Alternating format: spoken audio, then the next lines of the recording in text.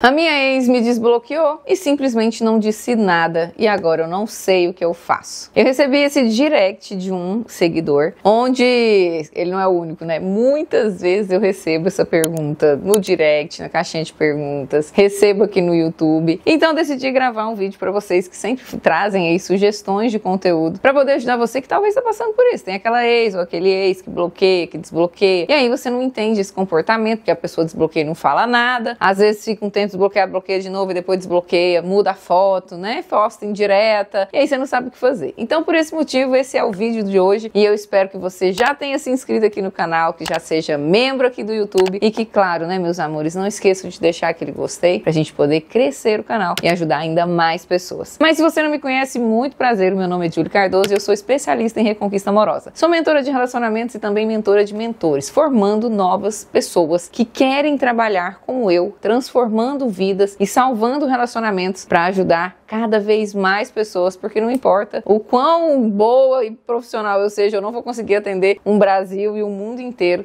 de pessoas passando por problemas de relacionamento. Então, sim, estamos aí formando novos profissionais que poderão futuramente, quem sabe, até trabalhar com a gente. Mas voltando aqui ao assunto, que eu até comentei isso essa semana com uma aluna minha, Sempre que vocês estão no processo de reconquista, vocês trazem as mais diversas dúvidas e é até engraçado, porque vocês estão tão ansiosos e com tanto medo de qualquer atitude que tudo vocês perguntam e tá tudo bem, nós estamos aqui para responder. Mas o que que a gente precisa observar primeiro no comportamento? Então vamos analisar aqui um pouco a parte de neurociência desse comportamento. Nós queremos sempre chamar atenção. Não adianta, você pode ser uma pessoa tímida, as pessoas sempre querem chamar a atenção, principalmente no caso de relacionamento e no caso de términos, né? Então, algumas pessoas vão postar muitas fotos, linda, feliz, o cara na balada, na festa, que tá muito bem. Outros vão postar frases de indireta, músicas de indireta. Alguns ficam no joguinho de bloqueia e desbloqueia. Outros, né, fica ali rodeando os amigos, não fala com você, fica falando com a sua família, com a sua irmã, com o irmão, com a prima, com a mãe, né? Não sai do grupo da família. A pessoa pessoa ela não te quer, mas ela não te larga. Até Rick, eu vi na live de ontem a moça falando assim: "Ah, eu não entendo. Ele não fala que não me quer, mas também não me deixa aí, não me larga, né?" E é mais ou menos esse comportamento. A pessoa fica tentando chamar a atenção. E isso simplesmente é porque ainda não está concretizado dentro dela ou dele esse término. A pessoa, na verdade, ela está tentando te punir porque ela está acostumada a sempre que vocês terminam ou brigam, é você que vai correndo atrás. Pode observar o comportamento dessa ex, dessa ex, que normalmente sempre que vocês tinham algum atrito, era você que ia correndo atrás dessa pessoa. Aí, como agora você não está fazendo isso, pelo menos eu espero que não esteja, às vezes até fez e aí parou, começou a fazer um afastamento, uma escassez, um contato zero,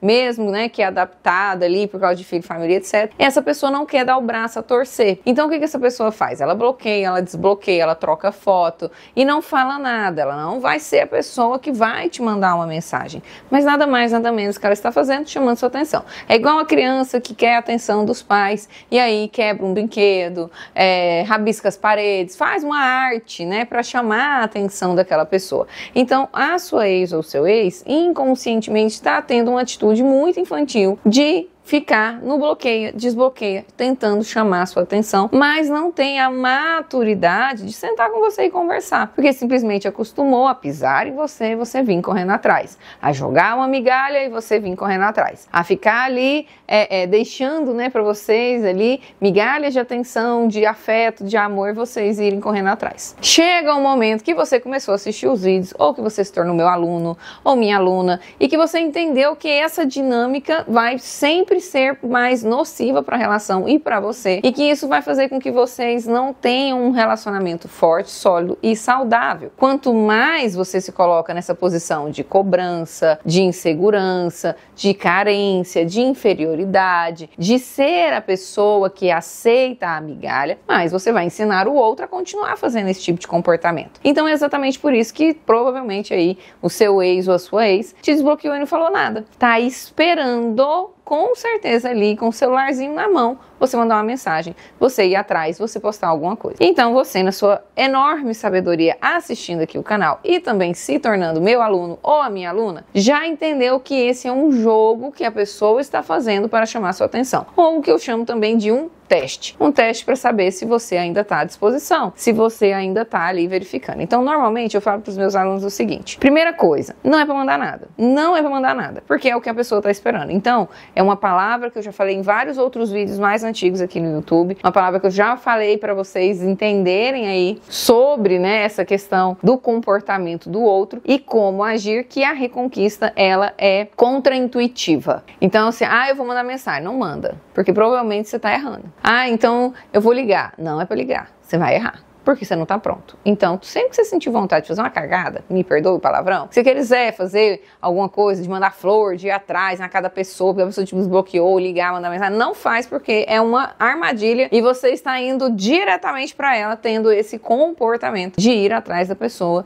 de insistir ou mandar mensagem quando essa pessoa te desbloqueia. É como se a pessoa estivesse fazendo assim, e você estivesse correndo atrás dela. Então você não é cachorro, você não é cadela. Então faz o favor, por favor, de se valorizar e não ir correndo. Agora, é um bom sinal? Claro, gente. Se a pessoa tá gastando energia para postar em direta, falar de você, bloquear, desbloquear, ficar trocando de foto, ou seja, se a pessoa tá gastando energia para chamar a sua atenção, para fazer com que você vá até ela, é porque essa pessoa ainda tem sentimento, é porque essa pessoa não tem certeza do término, é porque essa pessoa quer que você vá até ela. Só que essa pessoa também não está pronta, não está madura o suficiente e não está preparada para essa volta, porque para ela isso virou um jogo de poder. E aí tá indica um livro muito bom que eu estou agora ouvindo, para quem não sabe, eu amo ouvir livros é o meu hobby de academia, de trânsito e tal. Estou ouvindo Poder e Manipulação do Jacob Petri. E eu sempre que eu ouço algum livro novo, eu falo aqui para vocês. E esse é um livro que fala exatamente sobre isso. As pessoas inconscientemente sempre estão manipulando umas às outras. E vence quem tem maior clareza do que é essa manipulação, de como ela está sendo feita e como se beneficiar desse comportamento da outra pessoa. E é aí que entra a parte de estratégia, de saber como agir. É um bom sinal, sim, mas quer dizer que essa pessoa está te observando. Então, esse momento que essa pessoa te desbloqueia é um dos momentos ideais para você começar a falar sobre a sua evolução e sua mudança com as pessoas próximas, postar aleatoriamente, não todo dia nem com frequência, alguma novidade alguma mudança, ou talvez esperando ali alguns dias mandar a sua carta manuscrita, se você estiver pronto emocionalmente e na sua melhor versão e souber o que colocar na carta, como agir pós-carta, como agir depois de retomar o contato, usando todas as ferramentas que eu ensino para vocês no individual, na mentoria individual e no Relove Academy, de gatilhos mentais, de uma persuasão e etc. Porque a tendência de vocês é se colocarem numa posição negativa e usar gatilhos negativos que,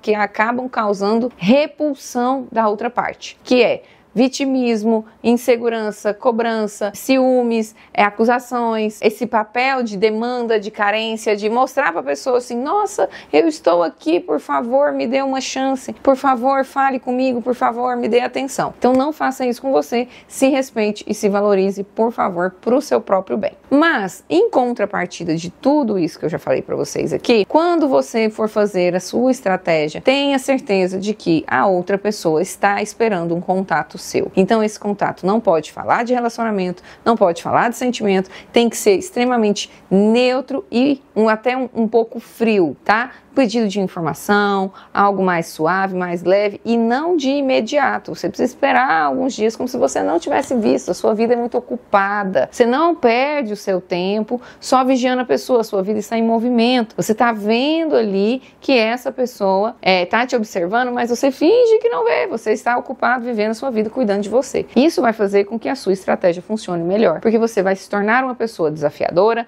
atraente e confiante, porque a pessoa está esperando você se humilhar e correr atrás e você você vai mostrar que você não tem nenhuma objeção em ter comunicação, mas que você não vai insistir em correr atrás. Entendeu a mensagem? Entendeu o quanto isso é poderoso? Se você entendeu, curte o vídeo porque vai ser importante para seus amigos que precisam de ajuda no processo de reconquista deles. E claro, precisa da minha ajuda de atendimento individual. Entre em contato com a nossa equipe e vou pedir o Renan para colocar na tela da página do coaching para você verificar os pacotes. Tem pacote de duas sessões, de quatro sessões, sete sessões e dez sessões. Comigo ou com a minha equipe, caso você queira um atendimento atendimento emergencial. A minha equipe vai estar à disposição e também vou pedir para o Renan colocar aqui contato do WhatsApp para você falar com a Ruane. Ela vai te explicar todo esse processo. Segue a gente no Instagram, Julie Cardoso, e também no perfil Sou Relove, R3 Love, para você ficar por dentro de tudo sobre o Love Mentor, sobre a Academia do Relacionamento, que agora é o Relove Academy, e também sobre reconquista, técnicas, dicas e informações. Deixe os comentários se você gostou desse vídeo, se entendeu, se ficou alguma dúvida e quais as suas sugestões para os próximos vídeos e o que você já aplicou até aqui que tem dado certo no seu processo de reconquista. Eu adoro quando vocês participam e quando vocês comentam, por isso estou esperando vocês no próximo vídeo. Não esquece de curtir. Um beijo enorme, fica com Deus, até mais. Tchau, tchau.